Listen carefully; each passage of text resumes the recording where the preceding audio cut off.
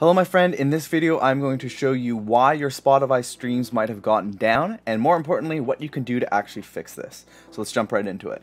Spotify stream counts will go down momentarily while they are in the middle of updating stream counts, and permanently if Spotify believes any streams are coming from fraudulent accounts. Thankfully, there are a few tips and tricks you can learn about how Spotify handles stream counts to make sure your new release is in the best shape it can be in. Before we continue, I actually wrote an article, so if you prefer the written version of this, or if you'd like to follow along, just Google My Spotify Streams Went Down Best Friends Club. So there are generally two reasons that your Spotify stream counts may have decreased from where they were before. The first reason is that they may currently be in the middle of updating your stream counts for the day. And the second is that Spotify may has detected that you have streams coming from fraudulent accounts. So what do you do in both of these instances?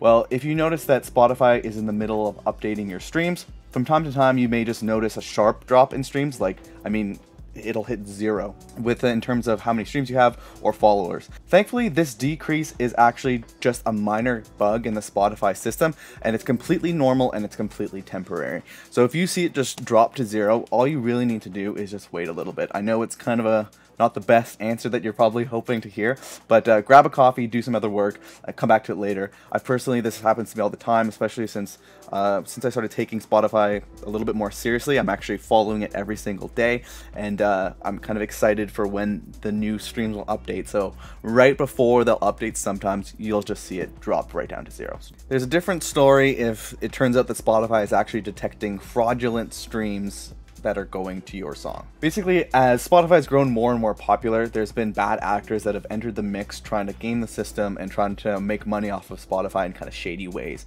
One of the main ways that this is really come up is in the form of fake playlists. So obviously as a new artist when you're struggling to get uh, streams it can be easy to fall into the trap of paying someone to put your music on playlist. Now essentially Spotify had to start cracking down on this because they don't want to be paying out royalty payments to fake streams. It's not good for their business and obviously they obviously want to crack down on that.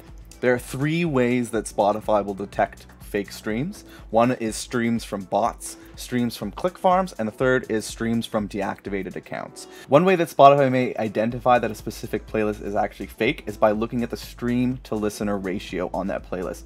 For example, a real playlist will have more streams than listeners. Uh, on your song as people tend to listen to the song more than once. On a fake playlist, there may just be one single stream from for each person.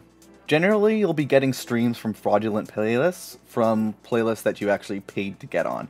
It's become a common practice for scammers to sell placements on playlists with lucrative stream counts and followers, uh, with the catch being that these stream counts and followers are actually from bots, click farms, or deactivated accounts. Regardless of where these streams actually came from, know that Spotify has flagged these as fraudulent and are going to remove them either way. The one silver lining here, though, is that at the end of the day, the numbers that you see in the Spotify for Artists dashboard are generally just estimates. So if you see this happening, you can actually just wait and see on the royalty statement that you get about three months after and see what the numbers are there. However, the best advice would be to stop paying to be on playlists, or at least be a little bit more critical when you are deciding to be on one of these playlists.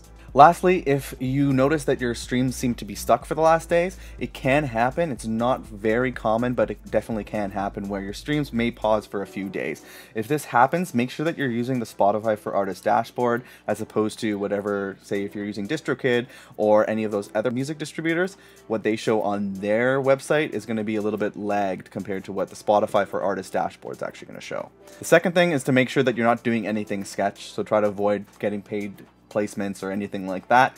And the third thing is always reach out to Spotify for support. Lastly, it's important to know when Spotify is actually going to be updating your streams so that you know when you should expect a change. So Spotify actually states that they update their stream counts once per day at approximately 3 p.m. EST.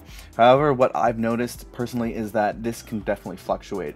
What I've personally noticed is that earlier in the week, the stream count may update a lot sooner. For me, generally it'll happen before 12 uh, p.m. EST, and then generally more towards the end of the week, I've noticed that it may take a bit longer. Particularly, what I've noticed is if there's ever a larger influx of streams for any of your songs, it may take a little bit longer for that to show up in the dashboard the next day, and this may simply be because since there's a larger amount of streams, Spotify's trying to check, make sure that none of these are fake before they actually report them to you. With that said, hopefully this video was helpful and now you have a better idea of what to do when you notice that your Spotify streams have gone down. Uh, like and subscribe and all that stuff if if you want to see more of this. I'm going to be doing more and clearly I'll hopefully get better at asking you to like and subscribe. Anyways, thanks. Have a good one. See you, my friend.